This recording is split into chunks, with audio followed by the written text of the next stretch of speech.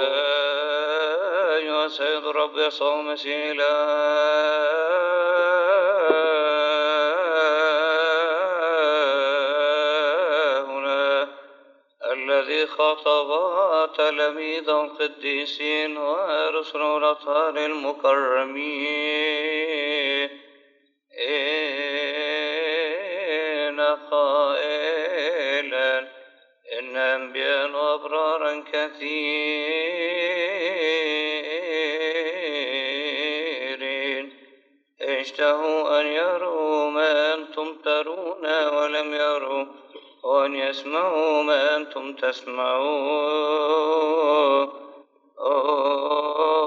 ولم يسمعوا أما أنتم فطوبى لعيونكم لأنها تبصر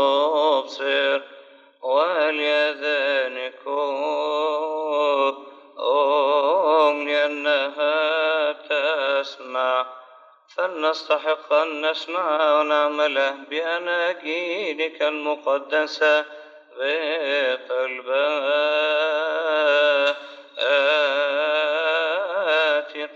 قديسك صلوا من الإنجيل المقدس. اذكر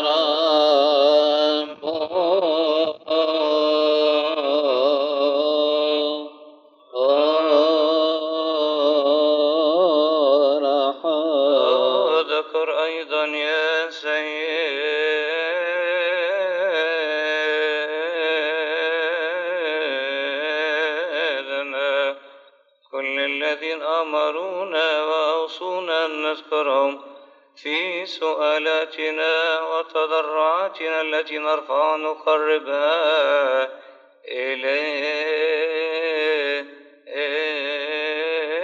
أيها الرب إلهنا الذين سبقوا فرخضوا يا رب نيحهم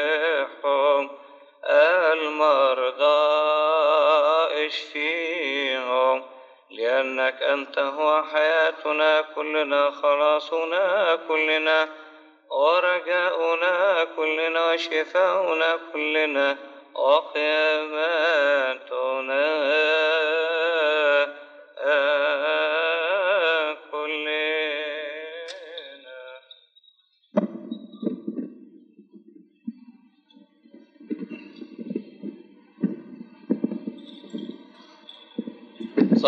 Teslavi terniyle. So.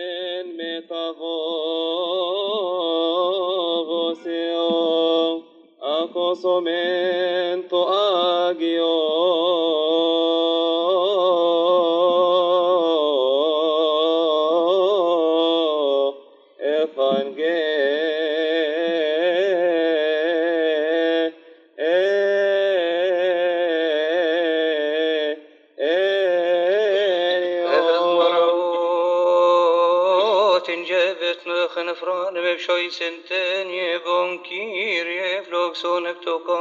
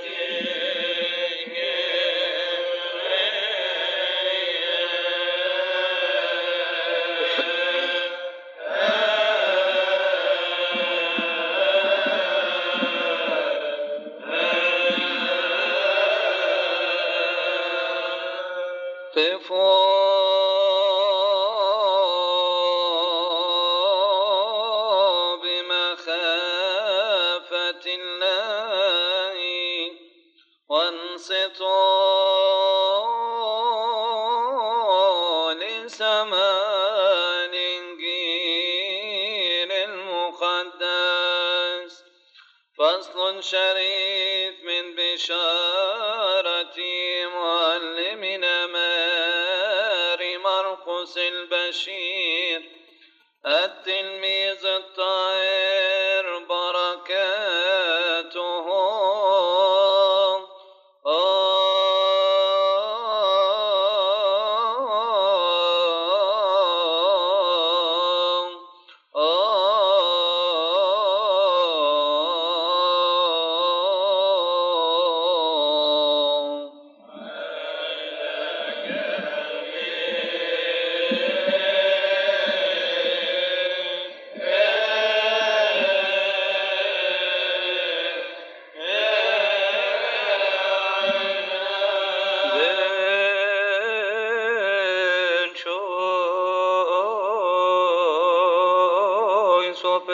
ben orotiren Ison vere sosem shire vefnotet om bion afshaine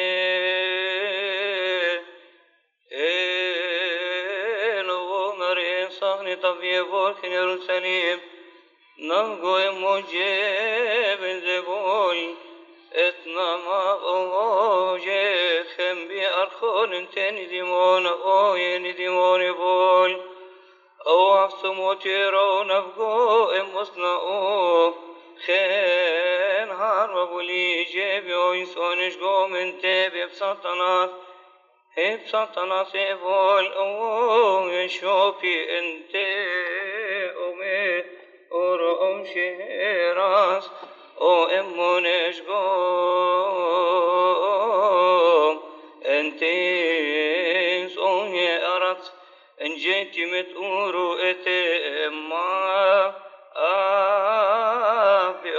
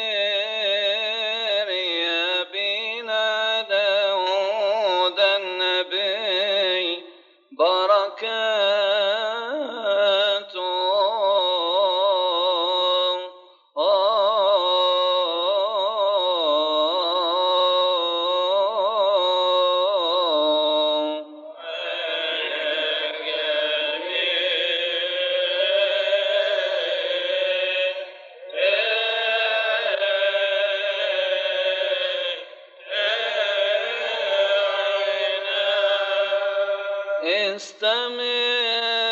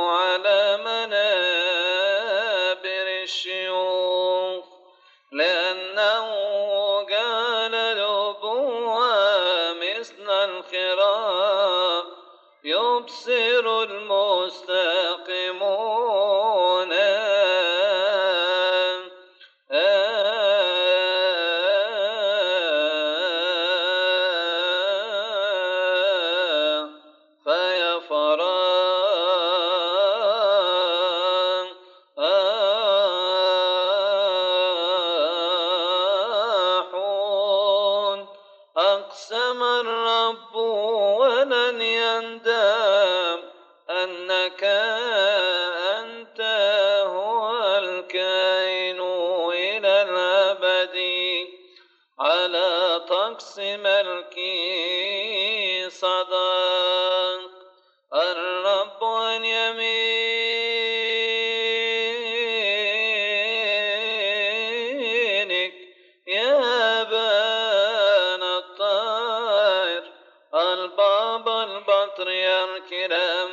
confession or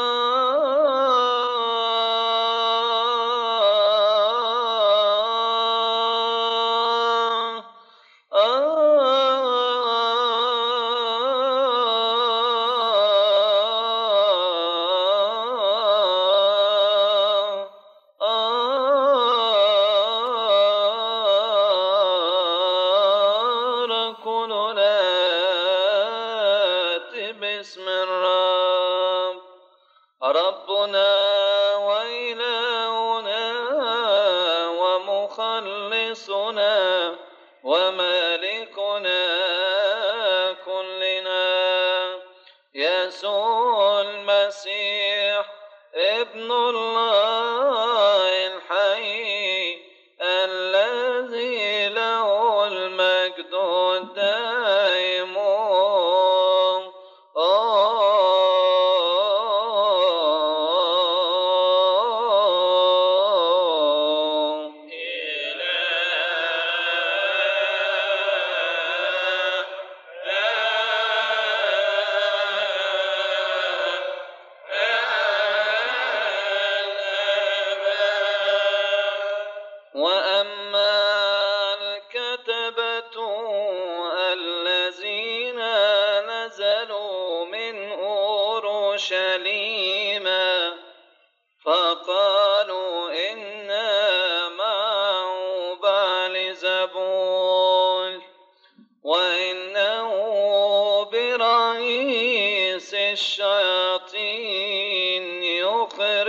الشياطين.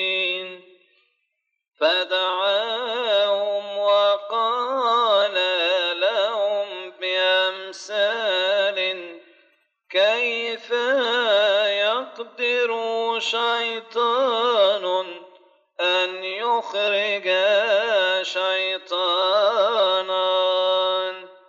وإن انقسمت مملكة على ذاتها تقدروا تلك المملكة أن تثبت. وإن انقسم بيت على ذاته لا يقدر ذلك البيت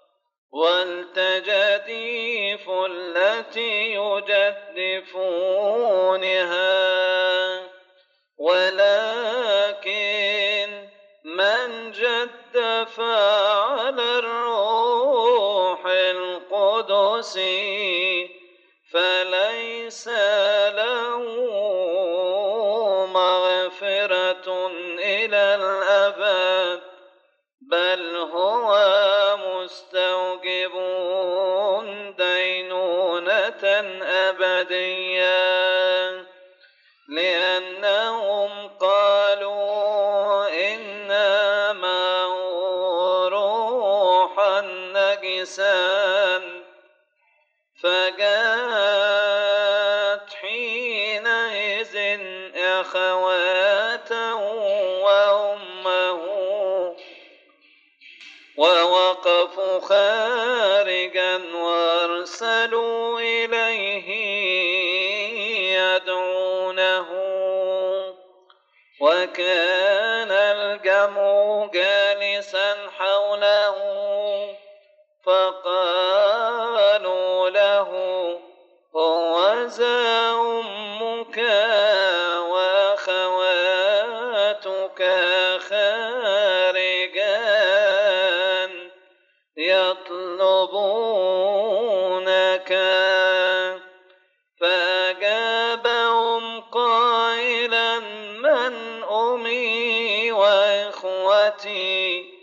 ثم نظر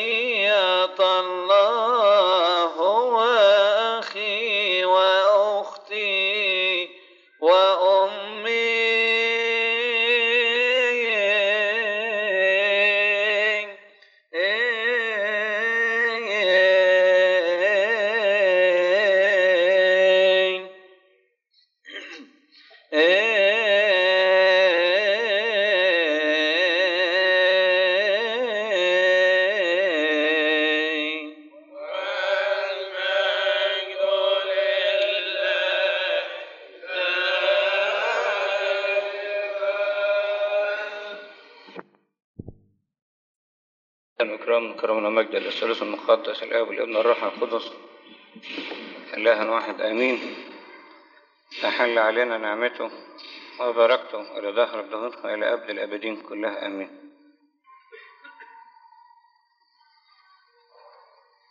السيد المسيح له المجد في إنجيل هذا الصباح المبارك يوضح لكل بيت لكل مؤمن لكل إنسان فيخاطبه ويقول إذا انقسم بيت على بيت لا يقدر ذلك البيت أن يثبت وفي موضع آخر هل إذا انقسم بيت على بيت يخرب ذلك البيت؟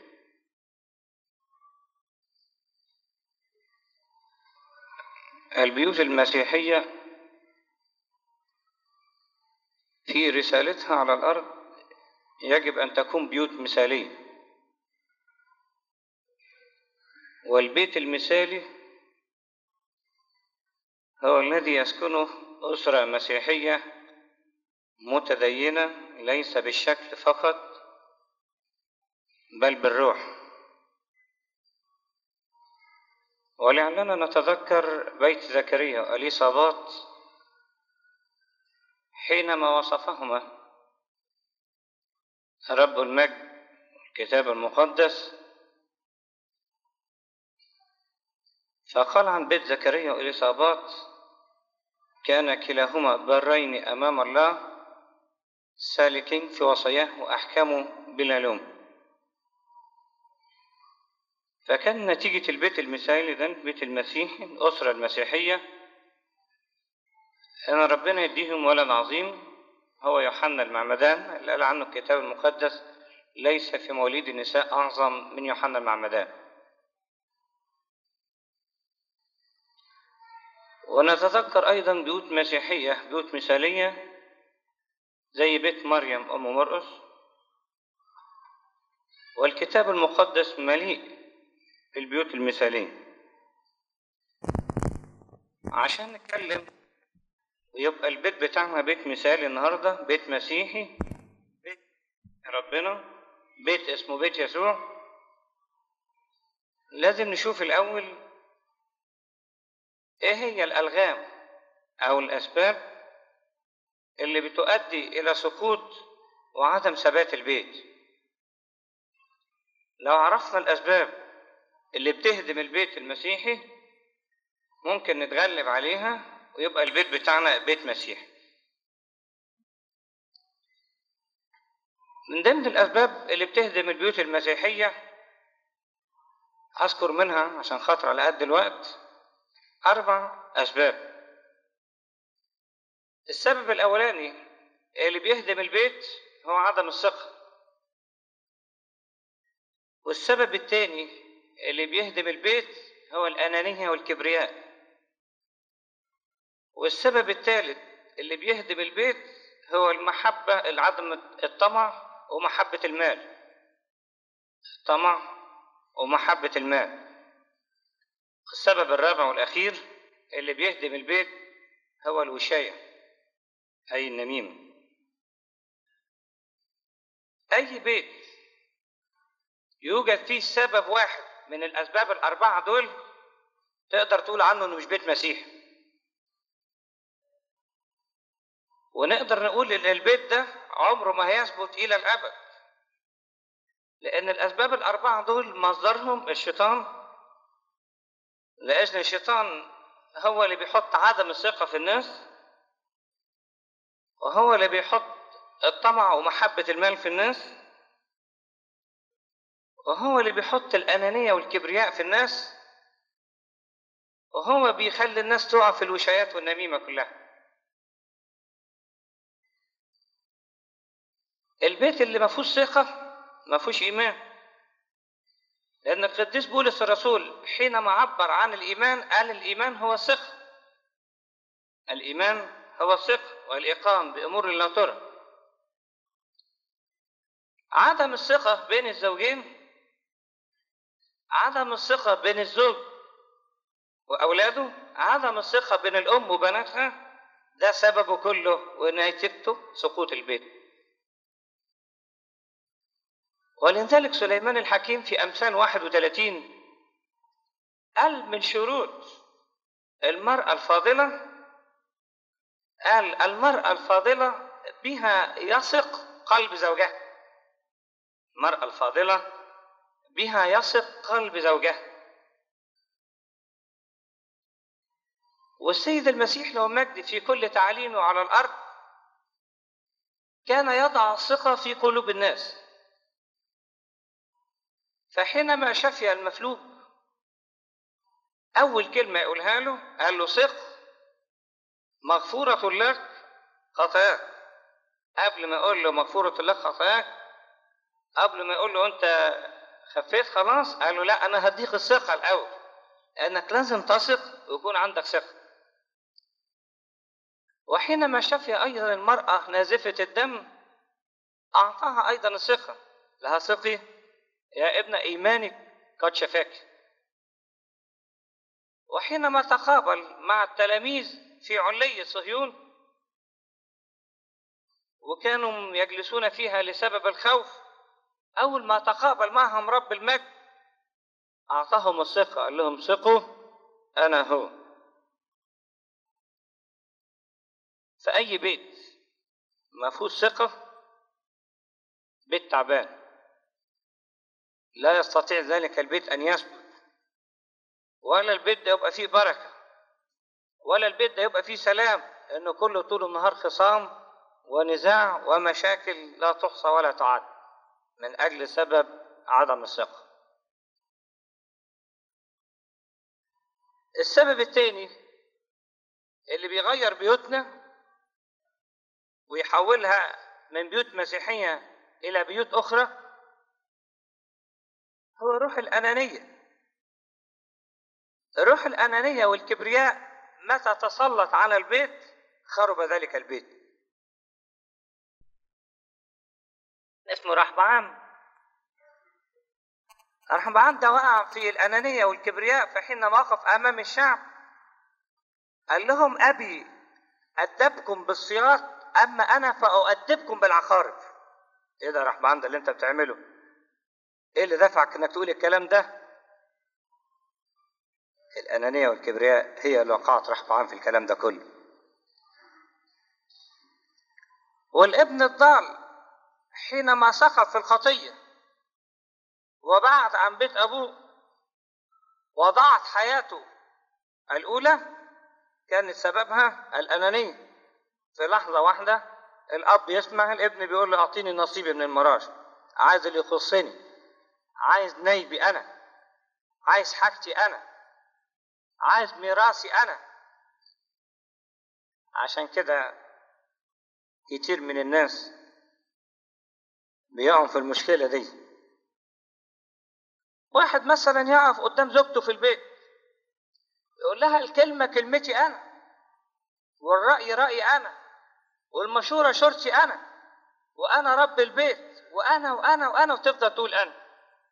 وأنت تقف قدام منه وتقولي له أنت حاسس بحاجة طول النهار؟ ده أنت في الشغل ده أنا اللي تعبان ده أنا اللي شقيان ده أنا اللي كافحة طول النهار ده أنا اللي بعمل أنا أنا.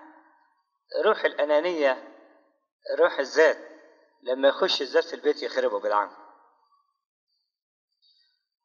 انت تقول أنا وهي تقول أنا انت تشد وهي تشد الحبل يتقطع في النص. والضحيه الولاد والبنات يتفرجوا علينا يطلعوا هم كمان يقولوا إيه وإحنا كمان. الأنانية والكبرياء مصدر خراب. في البيوت المسيحية. من ضمن أيضا خراب البيت وأسباب سقوط البيت الطمع. الطمع ومحبة المال. كثيرا من البيوت المسيحية تعبانة جدا. سببها تلاقي حاجة بسيطة. تلاقي أب مثلا اتنيح وسايب له ثلاث أربع قراريط الولاد عمالين يتنازعوا عليه الولاد يطمعوا فيهم ما يدوش البنات البنات يزعلوا البنات يشتكون في المحكمة البيت يخرب كله. وقد يضيعوا قد الثلاث قراريط دول قدهم عشر مرات والسبب في ده كله الطمع. وبالرغم من أن المسيح له المجد حذر المؤمنين كلهم وقال محبة المال أصل كل الشرور إذا ابتغاه قوم ضل عن الإيمان وطعنوا أنفسهم بأوجاع كثيرة. وقال الطمع ومحبة العالم ده كله عداوة بالنسبة لله. وبالرغم من وصية القديس يوحنا الرسول في كل رسالة رسالة الجامعة لا تحب العالم ولا الأشياء التي في العالم لأن العالم يمضي شهوته أما الذي يصنع إرادة الله يثبت إلى الأبد. لكن برضه لسه الناس ماسكة في محبة المال وماسكة في الطمع والمحاكم اتملت اليوم دول من الناس المسيحيين. وطول النهار القضايا شغالة وينادوا على ناس مسيحيين ليل ونهار. من ضمن أيضا سقوط البيت الوشايات. الوشايات والنميمة صارت لغة البيت. بدل ما المخلوق يسبح الخالق بدل ما الإنسان يحب ربنا بدل ما الأب والأم يقفوا يصلوا بدل ما الأسرة كلها تقف ترفع إيديها وتقول مع شعب نون أما أنا وبيت فنعبد الرب تحول البيت كله إلى وشايته إلى نميم هي تقول له أسرتك وأهلك عملوا وسووا وعملوا أنا الناس ده بيني وبينهم وأنا ما أقدرش أطيقهم تاني وشوف لك حل ومشيني من البيت ده. وهو جاي تعبان من الشغل من بره البيت كله يتملى نكد. ويتملى شر ويتملى وشاي يتملى نميم. ووصف أرميا النبي في العهد القديم الناس هؤلاء الأشرار الذين يسعون في الوشايات والنميمة قال كلهم عصاة متمردون ساعون في الوشاية كلهم عصاة متمردون ساعون في الوشاية لأن من واجب الإنسان أن لا يشي بلسانه ولا يصنع بلسانه ولا بصاحبه شرا. لكن الوشاية اللي من دول واخدة مكانها في بيوتنا. دول أربع أسباب بسرعة كده. عدم الثقة ها الأنانية والكبرياء الطمع محبة المال الوشايات. إيه علاج الأربعة دول. دول أربع أمراض. كل مرض له علاج هنا. وكل مرض المسيح أعطى تعاليم روحية وكل مرض لازم نتخلص منه النهارده عشان يقدر ذلك البيت أن يثبت وتبقى بيوتنا بيوت مسيحية. ليس بالاسم فقط بل بالروح والحق. علاج عدم الثقة مع تعالجوا عدم الثقة بالحكم. مهما حصل في البيت لو وجدت الحكمة تلاشت كل الأمور. لأن الكتاب قال البيت يبنى بالحكم بالحكمة يبنى البيت وبالفهم يثبت. وامرأة فاضلة من يجدها ثمنها يفوق كل قلب. وقال امرأة حكيمة تبني البيت. وحماقة المرأة تهدمه بيدها. عشان كده عشان تعالجوا عدم الثقة لازم تخش الحكمة في البيت. لأن رأس الحكمة مخافة الرب والفهم صالح لكل من يعمل به. تسمع حاجة أنت تعالجها بالحكمة. وأنت شفتي حاجة تعالجيها بالحكمة. كلنا لو حاولنا إن إحنا نصلح حياتنا كلها بالحكمة هيثبت ذلك البيت يبقى بيت مسيح. علاج عدم الثقة علاجها بالحكمة. والكتاب قال الحكمة بنت بيتها. الحكمة إيه؟ بنت بيتها. ونحن تحت عمليتها السبعة. الإنسان الحكيم يعرف كيف يدبر بيته. والمرأة الحكيمة تعرف كيف تدبر بيتها وأولادها. وبيت الحكماء مملوء من النعمة ومملوء من البركة. عشان كده إحنا بنقول يا رب وبنصلي بنقول له اجعلها بيوت صلاة ها؟ بيوت طهارة بيوت إيه؟ بركة. هتيجي منين؟ بالحكم أنتوا أساس البيت. لا أنت ترمي على ست ولا أنت ترمي على الراجل أنتوا الاتنين تشيلوا مع بعض. المثل بيقول القفة ودنين يشيلوها إيه؟ اتنين اتنين علاج عدم الثقة علاجه بالحكم علاج الأنانية والكبرياء. علاج الأنانية والكبرياء. علاجهم بالمحبة علاجهم بالتضحية. قريت مرة عن اتنين اخوات هما الاتنين واحد متزوج وواحد عازب. والاتنين بيحبوا بعض. ده عنده أرض وده عنده أرض. ده بيزرع وده بيزرع. هما الاتنين طول النهار بيفكروا إزاي يضحوا من أجل بعض. مش بيفكروا في الأنانية والكبرياء لا. إزاي يحبوا بعض؟ إزاي يوقفوا بعض على رجليهم؟ إزاي يبقوا كويسين؟ كل أخ إزاي يطمن على أخوه؟ فيقوم الأخ المتجوز ده يجيب بالليل من الحقل بتاعه ويحط في حقل أخوه. يقول في نفسه كده أنا اتجوزت ولسه أخويا عازب ما اتجوزش عايز يكون نفسه.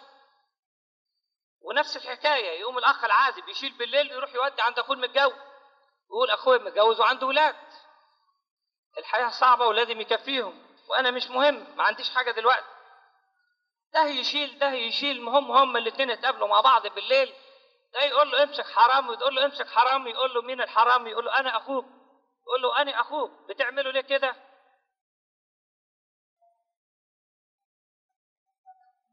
محتاج. عشان كده أنا بجيب لك. والتاني يقول له أنا قلت أنت محتاج أكتر منك أنا بجيب لك. هما الاتنين تعانقوا مع بعض وبنوا في المكان ده كنيسة اسمها كنيسة المحبة. اسمها كنيسة المحبة لأن ظهرت بينهم حياة التضحية. اقرأ في سفر التكوين عن إبراهيم ولوط. إبراهيم ولوط هما الاثنين يتعاهدوا مع بعض. يقولوا لا تكن مخاصمة بيني وبينك. ولا تكن مخاصمة بين رعاتي ورعاتك. لأن إحنا الاثنين إحنا الاثنين إيه؟ إخوات. أليست الأرض أمامك كلها؟ إن ذهبت أنت يمينا فأنا أذهب شمالا وإن ذهبت أنا يمينا فأنت تذهب شمالا. الأرض قدامنا كلها إحنا الاثنين ولعلكم تذكرون رعوس وحماتها أكبر مثل للمسيحية والحياة الطاهرة وحياة التضحية. تقول لها بيتي بيتك والمكان ده مكانك. وما فيش حيثما بت أبيت. حيثما ذهبت أذهب. ليس من يفصل بيننا إلا الموت وحده. أنت هتمشي أنا هاجي وراك. أنت هبيتي أنا هباتي معاكي. ما فيش حاجة هتفصل بيننا. إحنا الاتنين غير الموت وحده. من أجل روح التضحية علاج الأنانية والكبرياء علاج التضحية. يعني إيه أنت فرطت في سهم؟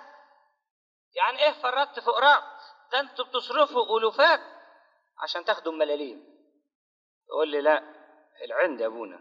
حقي. لازم أخده. أنا عايز أقول لك النهارده أنت تضحي وثق تماما تصلي من أجله هو هيضحي يبقى البيت بيت مسيحي بيت مقدس يسكنه المسيح. علاج الأنانية والكبرياء علاجه التضحية. علاج الطمع ومحبة المال. القناعة.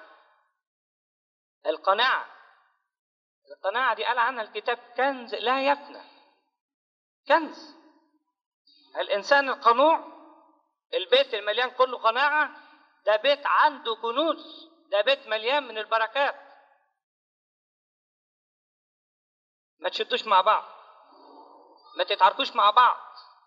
ده القناعة وصلت ناس بشر حولتهم إلى سواح. القناعة حولت ناس بشر ناس عاديين وصلتهم إلى درجة سواح في الحياة المسيحية. يعني القديس الأنبابولة أول السواح في حياته على الأرض هو وأخوه هما الاثنين أبوه ترك لهم ميراث الاثنين اتشبطوا واتعاركوا عليه. راح الواحد يحكم بينهم وهم ماشيين في الشارع فشافوا ميت. فسألوا الناس مين اللي ميت ده؟ قالوا لهم ده أغنى إنسان. ده كان يملك ثروات ده كان عنده مال قد إيه؟ بس يا خسارة ما خدش ولا حاجة معاه. إيه رأيك؟ شوف القديس أنبابولا السواح أول السواح قال إيه؟ قال لأخوه قال له ده مات ما خدش حاجة وكان أغنى مني ومنك وكان عنده ثروات أكتر من ثروة أبويا اللي سايبها لنا. اللي انت عايزه خده وأنا مش عايز ولا حاجة. يلا بينا نرجع. خد المال كله من نصيبك خد الميراث كله من نصيبك. قال عنه تاريخ الكنيسة ذهب إلى إحدى القبور وسكن فيها ثلاثة شهور ثم دخل إلى الصحراء وتحول إلى الأنبابولة أول ها؟ سواح. بسبب القناعة. فالقناعة تغير الإنسان. تحوله من حياة العالم من حياة الشيطان من محبة الطمع إلى محبة ربنا. بدل ما هو بيحب الطمع وبيحب في المال لا ده هو هيحب ربنا ويعيش مع ربنا إلى الأبد. لأن العلاج ده من عند ربنا. من تعوزه حكمة من تعوزه أي عطية فليطلب من فوق من عند أبي الأنوار الذي يعطي الكل بسخاء ها ولا إيه؟ يعير. يدي الكل بسخاء. يقول أفتح قوى السماوات ها أفيض عليكم خيرات تكفي لسنين عديدة حتى تقولوا إيه؟ كفانا كل ما يكون في قناعة كل ما يكون في بركة. كل ما يكون في قناعة كل ما يكون في سلام. كل ما يكون في قناعة كل ما يكون في بيت مسيحي بيحب ربنا ربنا بيسكن في البيت ده. علاج الوشاية. علاج الوشايات واليميمة النميمة ملهاش علاج غير المحبة. الكتاب قال كده لا تدينوا لكي لا إيه؟ تدان. لأن بالدينونة التي بها تدينون تدانون وبالكيل الذي به تكلون يكال لكم ويعمل إيه؟ يزداد يطب يعني. الدينونة دي من عند الشيطان. الشيطان شغلته يقلقك. يخليك تجيب سيرة الناس يخليك تحكي في سيرة الناس طول النهار ما عشان يضيع عليكم الوقت ما تصلوش. لكن قاعدين تعالجوا الوشاية قاعدين تعالجوا النميمة قاوموا إبليس فيهرب منكم طب تقاوموه إزاي؟ قال القديس بطرس الرسول قاوموه راسخين في الإيمان. لأن إبليس عدوكم يقول كأسد زائر ملتمس من يبتلعه. لكن قاعدين تقاوموه قاوموه راسخين في الإيمان. هتقول يا ابونا ما إحنا بنجاهد ما إحنا بنجاهد. جهاد إيه اللي أنتوا بتجاهدوه؟ الكتاب بيقول جاهدوا جهاد قانوني. إلا أن تجاهدوا حتى الدم. لا تقدروا أن تحصلوا على هذه العطية. علاج الوشاية المحبة. تحب ربنا تحب الآخرين. الرجل يحب زوجته الزوجة تحب زوجها والأب والأم يحبوا الأولاد والبنات. يهرب الشيطان من البيت لأنه لا يطيق الصلاة ولا روح الصلاة نهائي.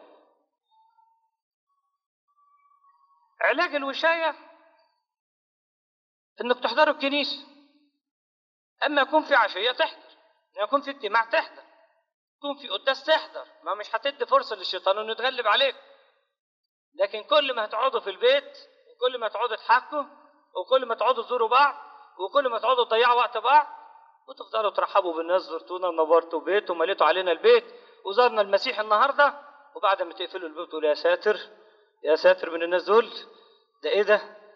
ده إيه ضيعوا وقتنا ضيعوا حياتنا؟ ما بدل ما تقولي كده ما أنت ما تجيبيش سيرة الناس. تحيوا كده في الأسرار المقدسة تحيوا مع المسيح ترنموا ترنيمة جديدة تسبحة تسبحوها سير القديسين تقروها تتحلوا بيها. قولوا كده مع القديس بولس الرسول اذكروا مرشديكم الذين كلموكم بكلمة الايمان انظروا انهاء سيرتهم وتمثلوا إيمانهم. دول اللي كلموكم بالإيمان بالحياة دول اللي عاشوا مع ربنا دول اللي وصلوا. وإحنا عايزين نلحق بيهم لكي نتقابل معهم في الأبدية. كل بيت ينقسم على ذاته يحصل له إيه؟ يخرب. وكل مملكة تنقسم على ذاتها يخرب هذا العمل من الشيطان. اللي بيحط عدم الثقة اللي يحط الأنانية والكبرياء اللي بيحط الطمع ومحبة المال اللي بيحط الوشاية. شيلوا الحاجات دي كلها عيشوا بالحكمه عيشوا بالحكمة عيشوا بالتضحية عيشوا بالقناعة عيشوا بالمحبة.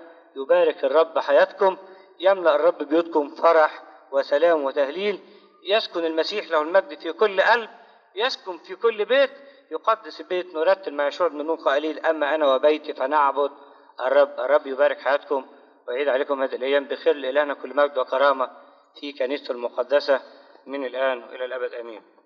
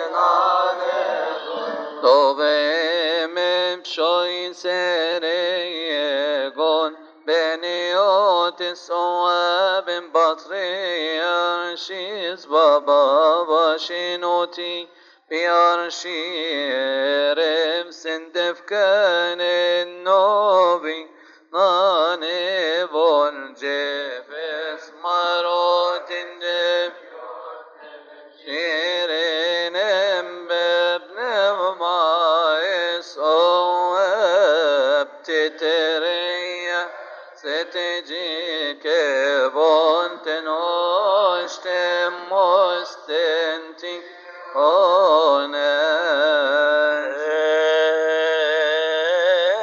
صوفيا سيبرس خمين كني ليسون كني ليسون خنوم اسمي بالحقيقة نؤمن بإله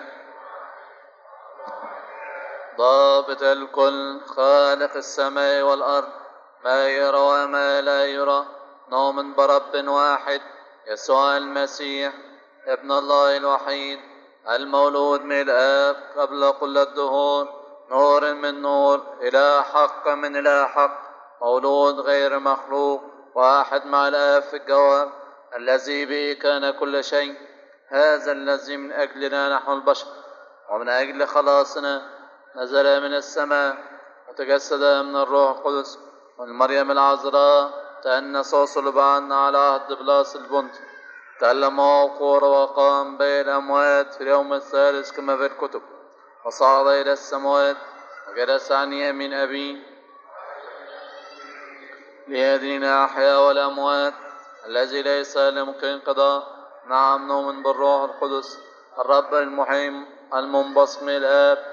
نسجد له ونمجده مع الآب والابن الناطق الأنبياء وبكنيسة واحدة مقدسة جامعة رسولية ونعترف بمعادية واحدة خفية الخطايا. وننتظر قيامة الأموات وحياة الدار الآتي. آمين. تنقش والخاين انتي أنا صاصي سندني ربمو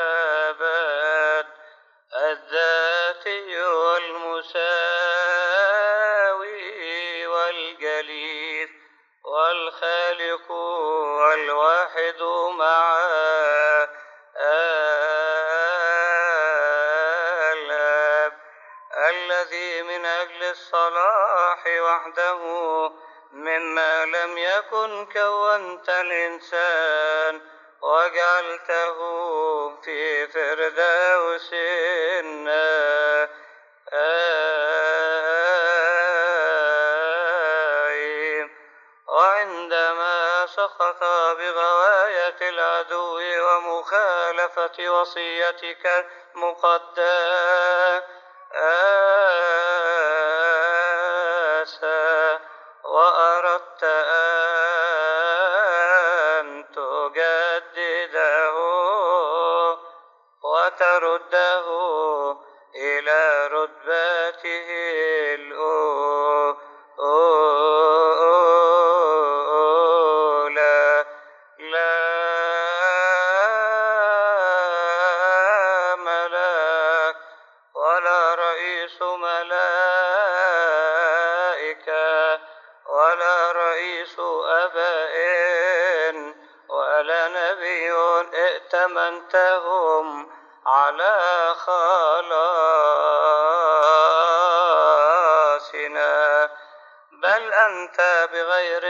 استحالة تجسدت وتأنت وشابهتنا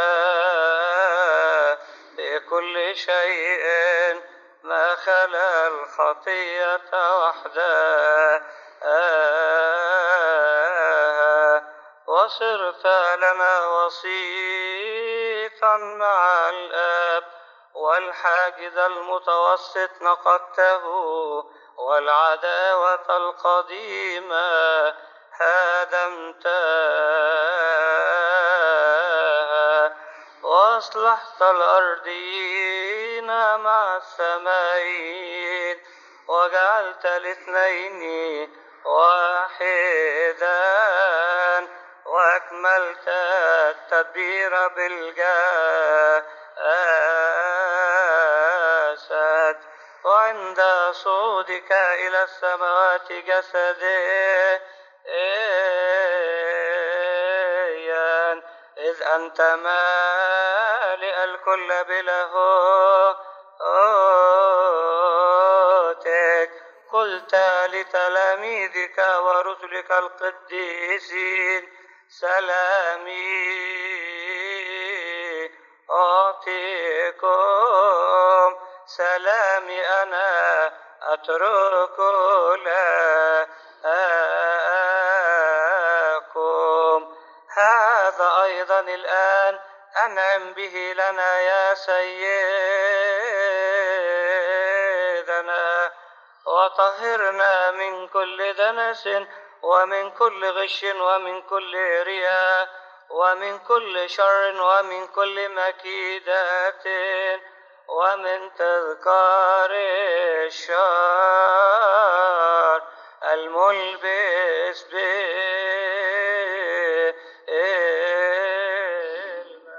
صلوا من أجل السلام الكامل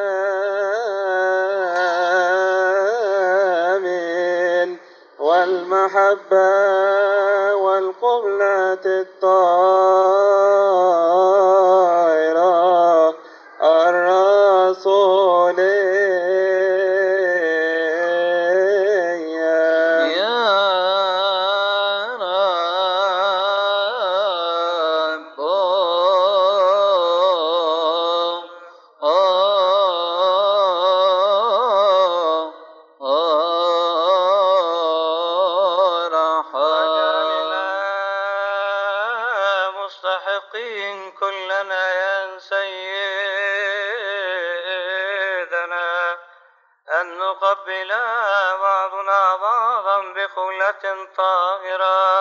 لنتناول بغير انتراح في الحكم من موهبتك الغير الميتة السمائية بنعمتك ومسرة أبيك الصالح وفعل روحك القدوس لأنك أنت هو الرازق ومعطي جميع الذي نسلك يا رب إيه إيه إيه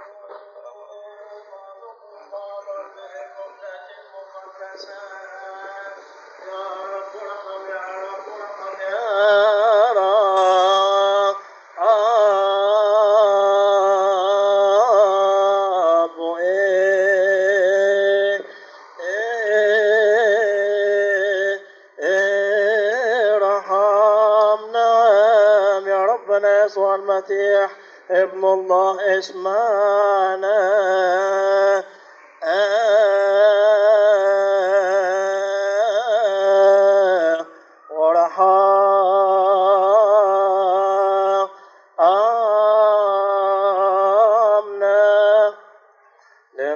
حسنا لنقف بتقوى نقف باتصال نقف بسلام نقف بخوف الله ورادة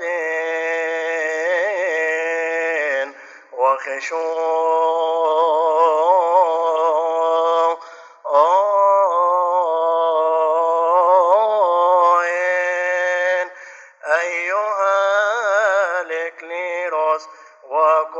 وكل الشعب بطلبة وشكر بهدوء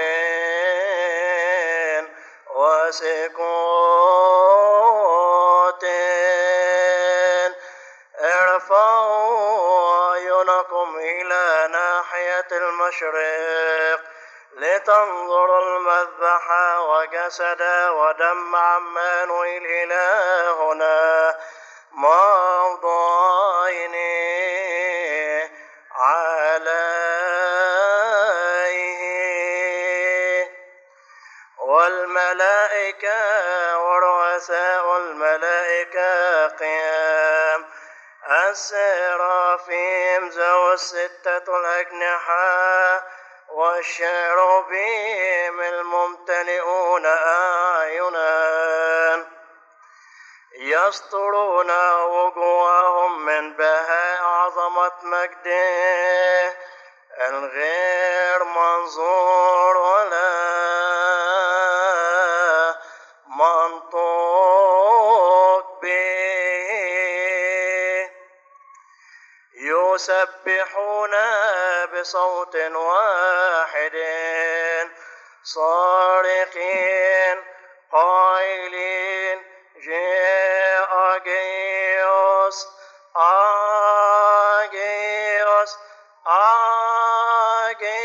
Dios, quiere Dios,